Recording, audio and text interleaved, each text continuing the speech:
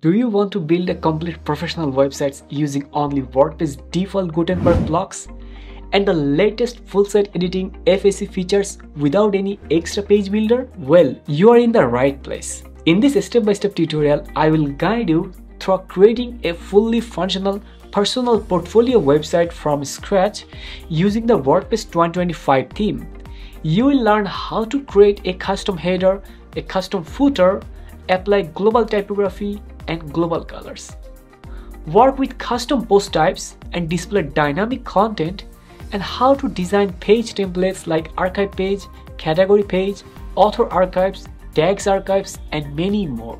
This tutorial is perfect for web designers, digital marketers, UI UX designers, SEO expert, and literally anyone who wants to showcase their portfolio professionally.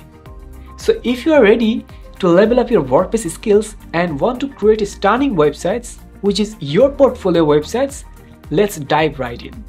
Before doing that, don't forget to hit the subscribe button and turn on your bell notification so that you don't miss future WordPress tutorials.